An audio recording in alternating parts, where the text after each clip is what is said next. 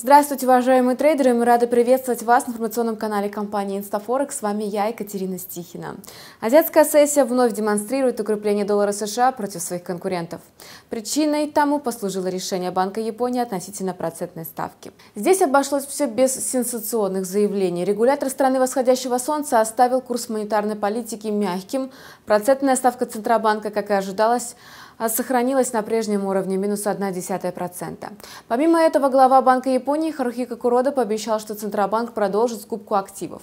Представители японского Центробанка высказали желание продолжать ожидание достижения целевого уровня инфляции в 2%. Однако эксперты опять снизили прогноз на ближайшее время. Так, по их мнению, потребительские цены достигнут отметки 1,1% в течение текущего года. После этой новости интерес к японским облигациям инвесторов упал, что и привело к росту пары доллар-иена.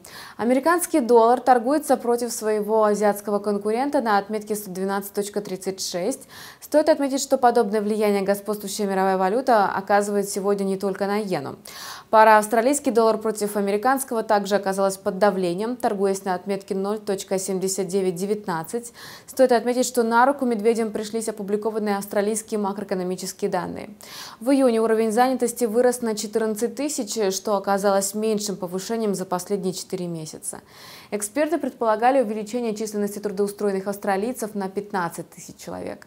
А уровень безработицы остался прежним – 5,6%.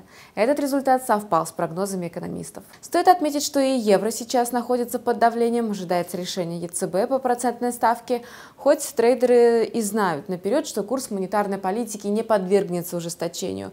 Они все равно пребывают в надежде услышать намеки о планируемом сворачивании стимулирующих мер. Вы смотрели новости на канале InstaForex TV. С вами была я, Екатерина Стихина. Увидимся в следующем выпуске.